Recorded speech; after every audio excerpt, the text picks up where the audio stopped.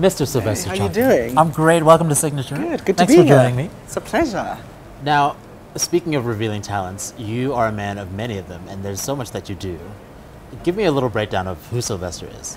Sure. Um, Sylvester is a marketer extraordinaire, loves dancing, art, music, um, people, consumers, brands. And I guess it's all meshed up into uh, this person who's uh, full of energy, full of life, always exploring new ideas, um, new opportunities, um, multifaceted in, in, in many ways. You're not just a marketing whiz, um, but you're also a dancer. Tell me more about everything else that makes you up. Before uh, marketing, I actually wanted to be a dancer. Okay. funny enough, um, because I love movement and I love it's when I'm on when I'm dancing I feel alive I feel really happy. Um, and I thought that would, that would be a career path for me. And in fact I wanted to go and train and just go do that completely.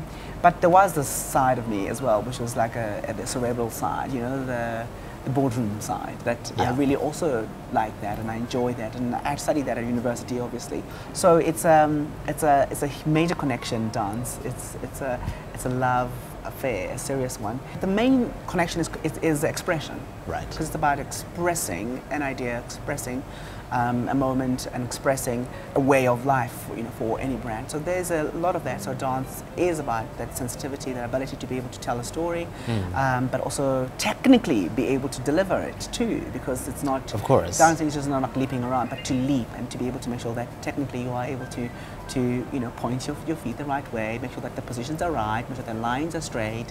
While we create amazing things in advertising or in, in marketing consultancy for example we still need to make sure that technically we are really robust and that we're able to deliver. So i would say that coupled with expression of, of, of mm. that work is, is a it's a nice parallel And in fact, I mean, the Rémy House is phenomenal because of just the, the richness in history, um, in the obsession with making sure that all the different eau de vives that are created, first of all, they must be the best, okay? Um, and not only is it just about making sure that we've got the best product, but also the, the blending of all of these to ensure that when you get your, your, your, your Rémy Martin product at home, it is exactly the way that it's supposed to be made or it has Yeah. been made for the last 300 years, 100 years. It's something that I have much respect for, completely.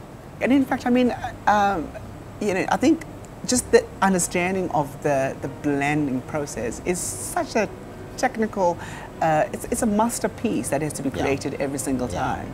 And, and I think that's quite in, in- in- incredible. And also with that, you could also be able to take out from it what you want to take out from it as well. That's good. That wasn't good. Um, lemon juice. Tune, tune, tune. Please edit it nicely so that it looks like I'm. I know what I'm doing. Okay. Thank you.